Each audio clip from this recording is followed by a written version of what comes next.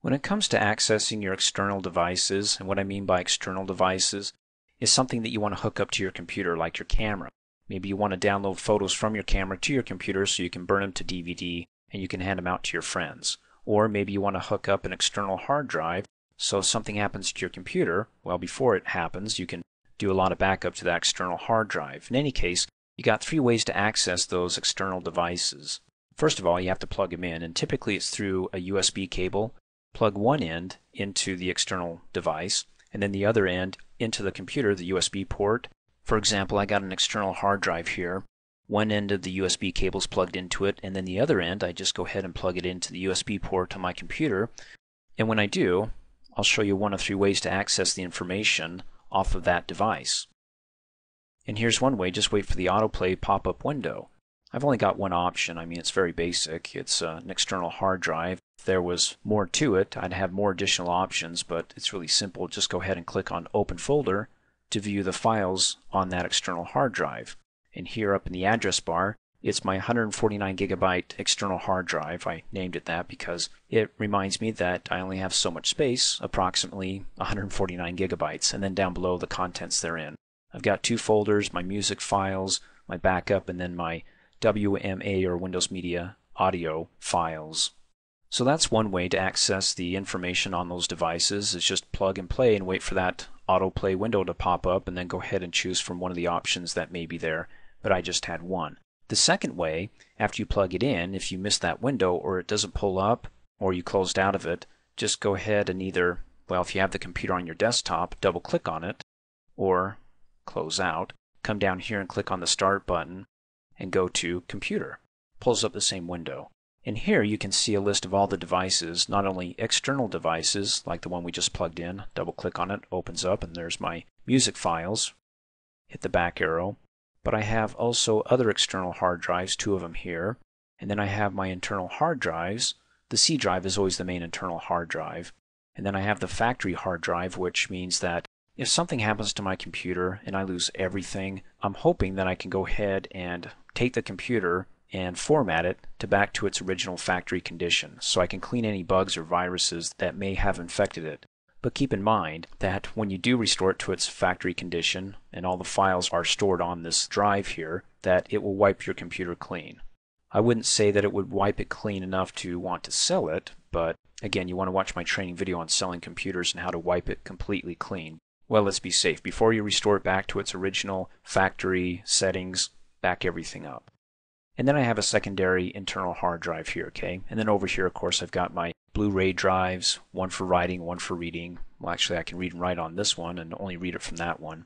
And then other, they call them removable disks, but actually they're just little ports on my computer for my SD cards, so I can, you know, pull those SD cards out of my camera, plug them into those ports, and be able to also download images from that instead of connecting my camera through a USB cable. I mean, there's more than one way to get information off a device, and so that's the second way that you can access your attachable devices and the information therein. Let me go ahead and close out. The third way, not my favorite, but it's still there. Click on the Start button, go to the Control Panel, and then under Hardware and Sound, go ahead and click on View Devices and Printers. Give it like 5 or 10 seconds while it figures everything out. Now when it comes to viewing information on these, uh, well, external hard drives, or if you have a camera attached through a USB cable, you can't double click on them to open them up. Like for example this simple drive, if I double click on it, nothing, I just get the properties. To be able to access the files or the contents on this simple drive, I can do it one of two ways, at least again, within this view, devices and printers here. I can either right click and go to browse files, and well, there it is, 149 gigabyte, my drive. Click on it, opens up. Let me click the back arrow, the second way is to select it and then come up here on the command bar and click on Browse Files drop down arrow. There it is again. Click on it and well there we go. My two folders containing my music files. So those are the three ways to get access to your external devices once you hook it up to the computer. Now when it comes to removing those devices, I don't recommend that you just unplug them from the computer, but Windows 7 has a safe way to, well let's say stop the device before you unplug it because if you don't stop the device and maybe there's information flowing back and forth between your external device and the computer, if you unplug it while it's talking back and forth, you may have some damaged files. So the safe way to be able to power down the device or to keep it from talking to the computer so information's not going back and forth and then you can go ahead and unplug it safely is to come down here in the notification area, click on it, that little triangle, and then come up here in that little USB plug with the green circle. When you hover over it, it says safely remove hardware and eject media. Go ahead and click on it and then give it five seconds while it figures everything out. And then it'll give us a little menu of options and I can eject well, three devices here, the least of which is my 149 gigabyte N drive.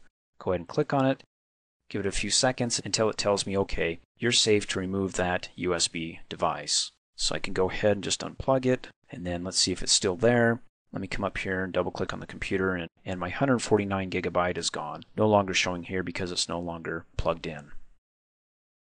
Now another way to go ahead and eject it is that you can come up here and open up the computer and right click on it and there should be an eject here within the menu.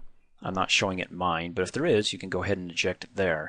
And it works well in Windows 7. It'll actually eject or give you the little safety window that says, okay, you can go ahead and safely remove the device now, okay? And I'll be honest with you, I just usually rip the USB cable out before I actually come down here and click on the safely remove hardware and eject media icon and you know stop it from communicating back and forth between the computer and the device. Haven't had any problems yet by just unplugging it before I use the safely remove option, but still it's good practice. It's a safe way just to make sure that you're not sharing information back and forth before you unplug it or anything else that might happen during the process. Thanks for watching. Hey, as a quick reminder, if you like my video, please give it a thumbs up. You can also click on me and subscribe to my channel to get notified of the latest videos. And for all my training, please visit me at my website, dreamforce.us.